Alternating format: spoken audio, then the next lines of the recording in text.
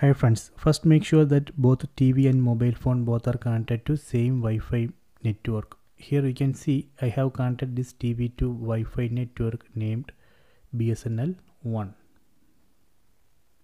So here in the left side you can see I have connected this mobile phone to same Wi-Fi network BSNL 1. After that in TV go to settings then select device preferences then select Chromecast built-in then select let others control your cast media then here we need to select always. Select always here.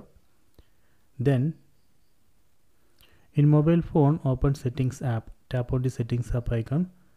Then select more connections. Tap here. Then select cast. Tap on cast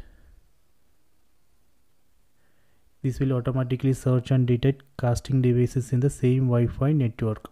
You can see it has detected Android TV. Tap on this Android TV. Then tap on start now. See it's working.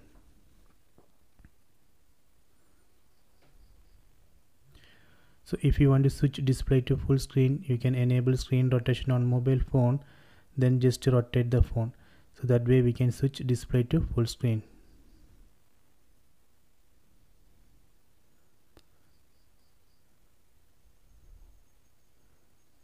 See.